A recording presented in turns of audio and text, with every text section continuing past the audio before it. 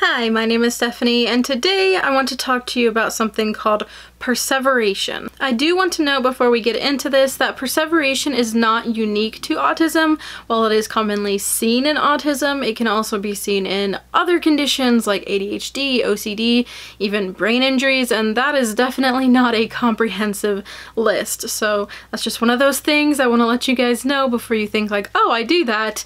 That definitely means autism. That's not necessarily the case. If you watched my video recently-ish on the executive function of cognitive flexibility, or sometimes also called flexible thinking. You're likely familiar with the concept of autistic people and people who have issues with cognitive flexibility having trouble switching tasks or switching kind of like the focus or stuff like that. Basically being able to switch and roll with the punches and that kind of thing is what cognitive flexibility is. So if you're able to be able to switch topics or switch tasks or go from one thing to another and shift pretty easily, then that would be pretty decent cognitive flexibility. Now, instead of just saying someone has trouble with cognitive flexibility, there's actually a word for what happens that's kind of the opposite, which would be perseveration.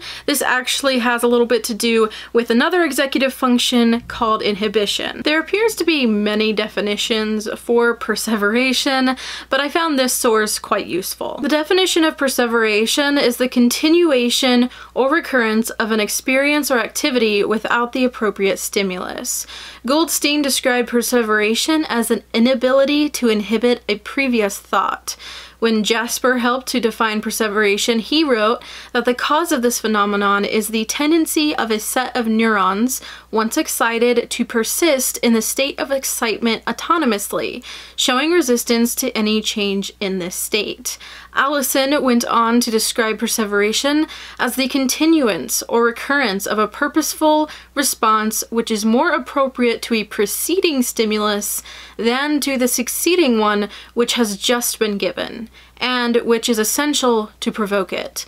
Perseveration is involuntary. By definition, it does not occur without previous stimulation and is not a spontaneous phenomenon. This same source later notes that perseveration has been well documented in thought, speech, and in motor movements. We tend to consider these perseverative movements as stims or self-stimulatory behavior, and they might also be described as stereotypies. So the concept of being stuck would more accurately or technically be called perseveration. And this often happens in thought, which then makes itself evident through speech. Perseveration in conversation can be pretty obvious.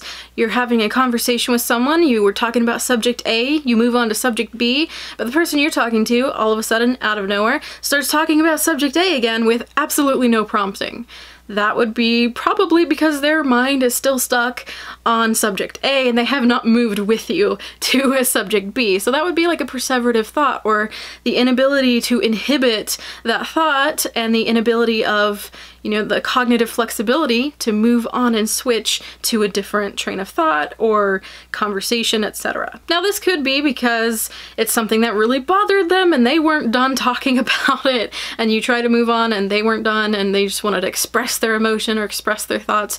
But sometimes this can be really just because the thought can't really be inhibited in their mind and they're just kind of stuck there and that would be more of a perseverative thought. Now while I'm sure I have experienced this plenty of times, there's something about seeing it play out in someone else in front of you that is just more striking to realize all the parts that are happening and then to recognize oh, I do that, and try to help them. One time I was talking to somebody and we were on a conversation and an issue had arisen and they were worried about what was going on. And even though the situation was fine, they were still concerned with it.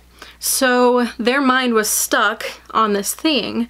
And even though they tried to move past it to be able to deal with the incoming information, so there were people who wanted some other questions answered. They were trying to, you know, access thought for those other questions, but they couldn't because they were stuck on this thing that they were worried about. So even though it wasn't necessarily rational to be worried about this thing, they were stuck there and they couldn't address these other things that were incoming and it was becoming very frustrating. And I could tell it was just like watching someone, their brain is just like, they can't. And of course, people who don't understand what's going on, that might be frustrating. Why aren't you answering my questions? It was just really strange to see it play out in front of me and realizing what I'm seeing. So in those cases, if it is something that is distressing, like a distressing thought, and something that needs to be addressed, in the best case scenario, there would be someone who would be able to observe that and say, okay, they're really stuck on this thing, and to come back and address it. Because you come back and address that thing, sometimes can kind of get it unstuck, if that makes sense. So whatever it is that's saying, this isn't okay, we can't switch because of X, Y, and Z, if you can take away the anxiety around this being stuck, and address it with them and maybe walk through it with them, maybe verbalize it for them. They might not be able to verbalize what's going on, but if you noticed and you're you might be able to work with someone to verbalize it and work with them to kind of get through that so that way then you can move on to address other questions. So I thought that was really interesting to see, just again for me, uh, even though I experienced that in my head a lot. If you are seeing someone experience perseveration in a distressing manner, trying to just push them on to another subject and ignoring what they're doing over here is probably not the best idea. That's probably going to make them frustrated or more upset because it's not that they're just like, hey, I just want to hang out over here. It's it, it, your mind is stuck here. Like I can't move on from this. And it's more frustrating when you realize you can't move on from this and people expect you to. Now perseverative speech can also be considered echolalia. We've talked about echolalia also before on this channel. I'll link the video up in a card. I always forget what side it is. Now that would only be certain types of echolalia though, because obviously just repeating back one time what someone said as you're learning a language, which is technically a form of echolalia, wouldn't really be perseveration, right? Or perseverative speech. However, there are definitely forms of perseverative speech that are also echolalia. If you're going to be repeating a word over and over, repeating phrases over and over, sentences over and over, those sorts of things. That's perseverative speech and also would fall under echolalia. Now, from my understanding, a perseverative speech doesn't necessarily always mean echolalia. Someone may be saying that someone is having perseverative speech when they're just continuously talking about the same topic. So they got stuck on that topic and they're not going to stop. Sure, someone can describe to you later on their thoughts were stuck, but usually, obviously, we can't see inside of other people's minds. so usually they tell us, right? Or they show us that these thoughts are happening by what's coming out of their mouth. So I think that's an interesting kind of crossover of perseverative thinking and perseverative speech. A lot of times this can also be talking about the same subject in the same way.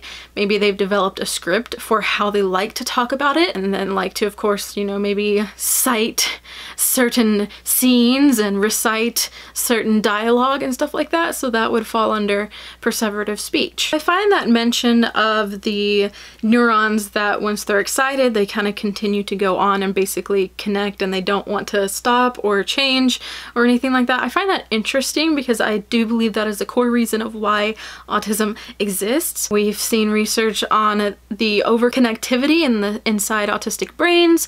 We've seen where different parts are connected for longer than they would be in a non-autistic person maybe for just a few seconds, but those few seconds matter a lot when it goes on inside of your brain. And then there's also the whole thing with having too many synapses and too many kind of routes and different routes because of kind of a thing to do with synaptic pruning, a bunch of sciencey things and how that goes on in your brain. But it is interesting because the concept that that is one of the things they're seeing different in the autistic brain is actually similar to why, or is the reason why, we see so much perseveration in autistic people. Anyway, I hope this video helped you learn a little bit about perseveration and what it means and how it has to do with autism and all those sorts of things.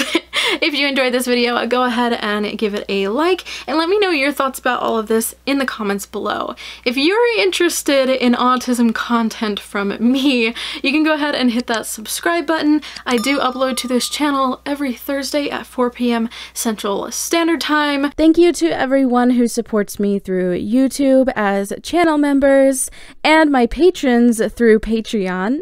And a special thank you to my Spaz tier patron, Jesse Graves. Thank you so much for watching. I hope that you're having a wonderful week, and I will see you in my next video. Bye!